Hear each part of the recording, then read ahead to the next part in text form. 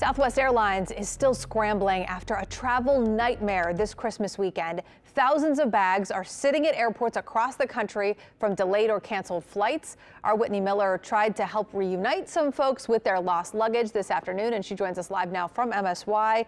Whitney, that is a big job. It's a huge job. You know, you would think right now after the holidays that upstairs the departures would be busy. It's not very busy, but it is busy down here in baggage claim. There are a few hundred bags down here in the baggage claim. I called a couple of the missing owners who tell me they've spent almost a week without their belongings.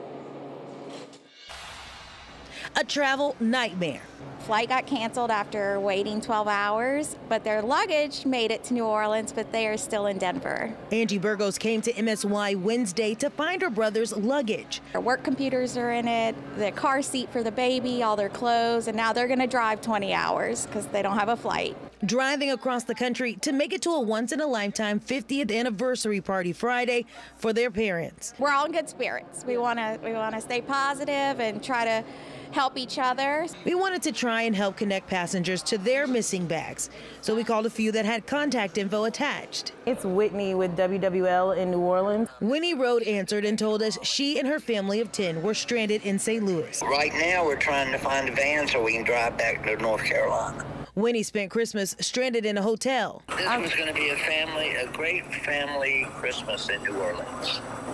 And it's turned into a nightmare? You got it. We were able to let Winnie know that most of her family's luggage was at MSY. Now she's worried it may never get to her. The last thing we heard was they're working on it and it could take up to a month. And you heard that right. A month is what she believes it'll take to get her bags.